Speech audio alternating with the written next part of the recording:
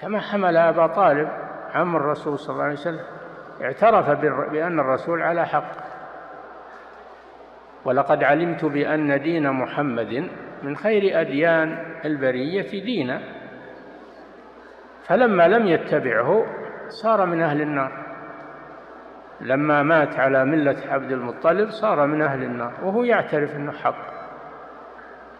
وقال لولا الملامة أو حذار مسبة لرأيتني سمحا بذاك مبينا. ما منعه من اتباع محمد إلا آه، الحمية لدين قومه. لولا الملامة أو حذار مسبة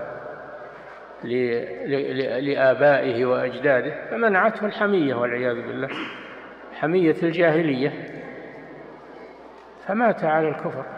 وهو يعرف أن محمدا على حق.